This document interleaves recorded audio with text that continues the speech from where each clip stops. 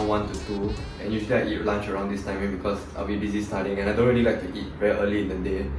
And I usually get the same minced meat noodle I do every single day. It's only $4 and it's delicious and it helps me save money because I'm a uni student. Don't have a full-time job yet so saving money is essential. So I'll usually eat this within like 15 to 30 minutes and I'll usually just watch some anime or some random YouTube videos and I'll, I'll just continue back with my lecture. So let me enjoy my show.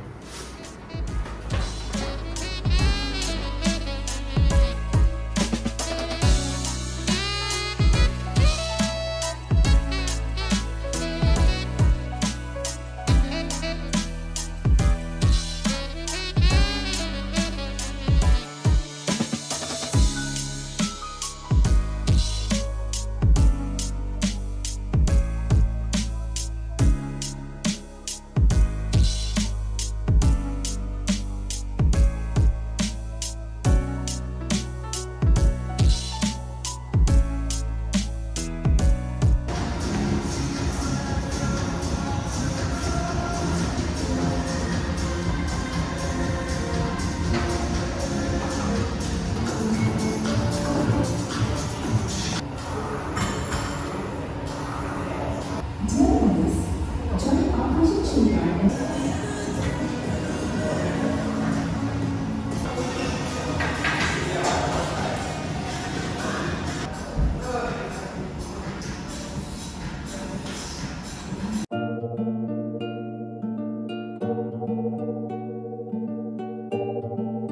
Today's gonna be an interesting one because I'll be heading out for an event and the event's gonna be Exit Coast opening for their new store.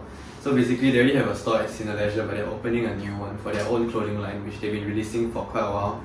And I think it's quite meaningful for me because actually when I was like 18 and 19, like the in thing at the time was thrifting, like buying thrifted clothes and actually I passed by Exit Coast when they were having a pop-up at I think Orchard Gateway uh, at the first level and then I picked up this